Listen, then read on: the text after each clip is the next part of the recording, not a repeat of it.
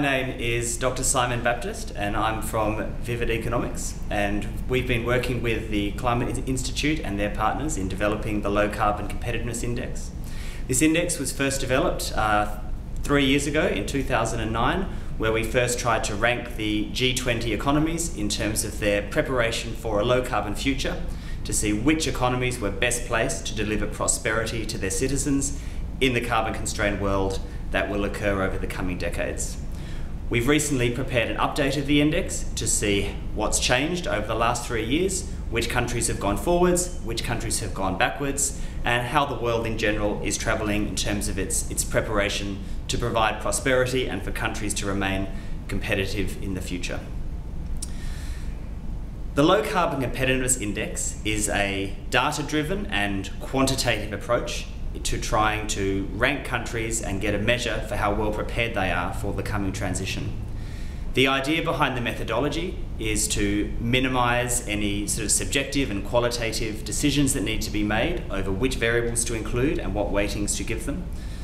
Uh, the result of the, the process that we used to analyse the data and select the variables resulted in a total of 19 variables being selected across a total of three categories. The three categories are early preparation, sectoral composition, and future prosperity.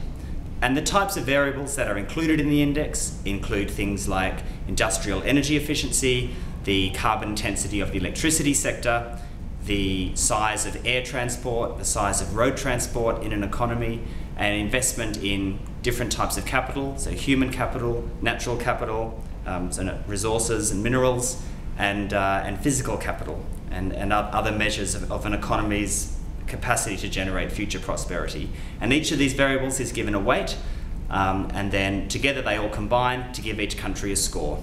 Uh, and then we can compare the scores across the G20 economies and see which countries are doing well and which countries are doing less well.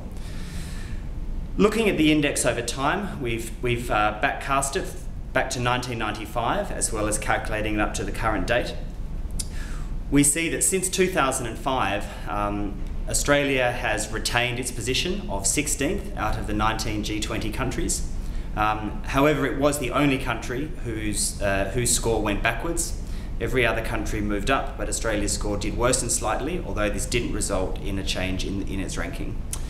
Uh, Australia has been doing relatively well in terms of its early preparation, but less well in terms of its uh, retention and investment in in natural and physical capital and human capital to, to generate prosperity off into the future.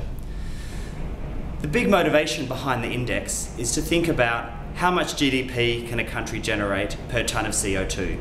In the future, when CO2 is a scarce and limited resource, those countries that can do more for every tonne of CO2 they, they produce are going to be more competitive and are going to be in a better position to generate prosperity and wealth for their citizens. And the Low Carbon Competitiveness Index is designed to be forward looking and to capture how countries are going in preparing for this transition.